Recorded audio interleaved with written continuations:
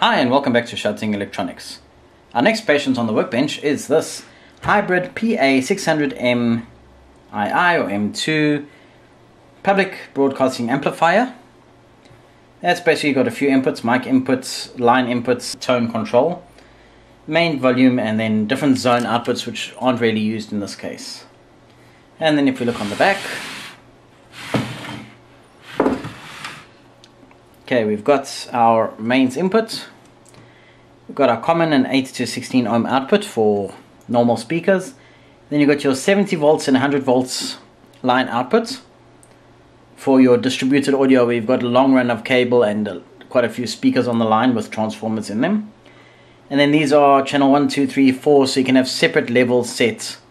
But basically this customer just uses common and the 100 volts outputs. This amplifier still looks in quite a good condition because it is only a few months old.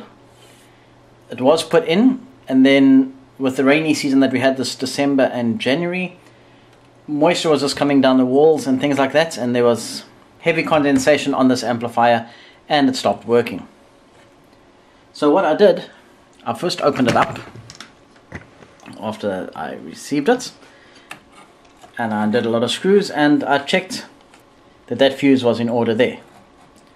That 5 amp onboard fuse. And that fuse actually tested okay. So I thought that's strange. Let me plug it in. I plugged it in and it was dead. No power. So then I thought, okay, well let me trace the power from the back. So let's, okay, this is one of these fuse hold, uh, one of these IEC inputs with a fuse holder. So I slid the little fuse holder thingy out and I heard crunching the whole time I was pulling it out. And I didn't get much else with this because if you look inside here, don't know if you can see but that fuse has been totally destroyed. In fact the little end caps of the fuse are still in there. And that's supposed to be a 5 amp 250 volt fuse according to the label. The fuse on the board is also a 5 amp fuse. So, so much for coordination. Okay, so your supply comes in through the IEC connector, through the fuse on the top, and then it travels in on those two connect on that connector there. And if we follow it underneath, little aerial wire's getting in my way here. If he's not careful, he's going to get cut off anyway. Okay, I don't know if you can see it. AC input comes here. Straight away, it goes into this common mode choke that's over here. And then from there it goes to the other fuse and the MOV and or the thermostat to do a slow inrush. Yeah, the NTC thermostat let's show you that there. So there's the NTC thermistor. So the supply goes from these wires through here, the common mode choke, through the NTC thermistor, and in through the fuse to the rest of the circuit. Now this fuse not blowing, but the front fuse getting destroyed like that leads me to believe that there was something on this input side before that fuse. Okay, let's take a look at the common mode choke. So there is the common mode choke. And if you look there, there's arcing and charring and that. So I think this in this common mode choke, it actually, with the moisture, it actually started arcing a bit there. Maybe the insulation was a bit damaged and it actually destroyed the continuity on both windings. So I could just pull it out and bridge it out with a wire to test, but I've got a choke I've pulled out of another device that's not being used. So I'm just going to swap that choke quickly off camera, and then we'll test it and see if it goes bang. Good. After a big ugly wrestling match, it's finally in place. Okay, now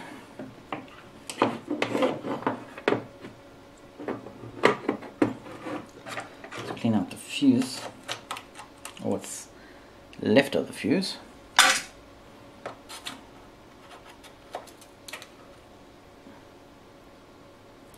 Look at that, it actually arced through. I don't know if you can see it there, but anyway.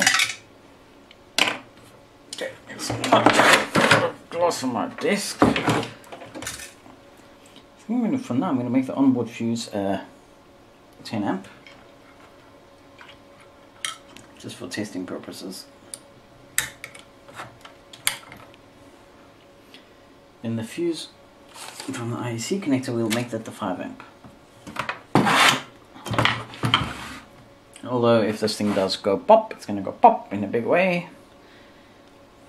So we just put the fuse into the little holder like that and then slide it into the IEC sockets. Sanity check while you're looking. Okay, now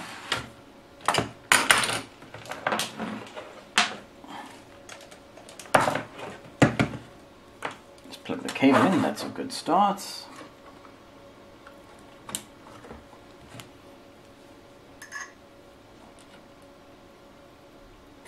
Okay, doesn't look like got a dead short there. Yep, looks good. So I think we are ready to switch off the fuse. Uh, switch off the switch first. Hope it's off. Plug in.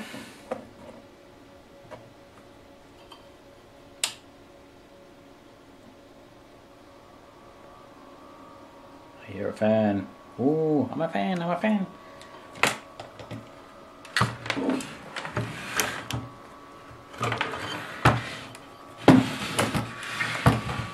And yeah, we got light. We got the little thing saying no no flash drive installed. Okay.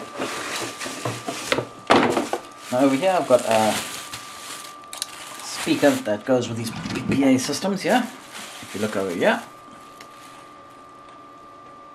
it's basically got a little, it has a normal speaker, then here's a little transformer and you can choose different taps. So if I choose black and 1.7k, should give us 6 watts. So if I go black and white, See, black and white, 1.7K, 1.7K, 6 watts. Okay. So we said black and white.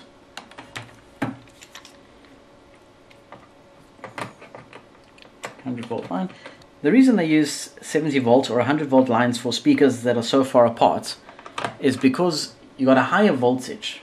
So for the same amount of power going to the speakers, you use a lower current, and your current and resistance work together. So the longer your line is, the more resistance, and the higher current you draw, the more drop you get on the line, and it gets softer. So at least by running 100 volts, you can run a lot of speakers together, as long as they don't exceed the amplifier's rating, and they can be far apart. Okay, so now I should be connected to this amplifier. Let's just turn the volume down. And let's play something and see what happens.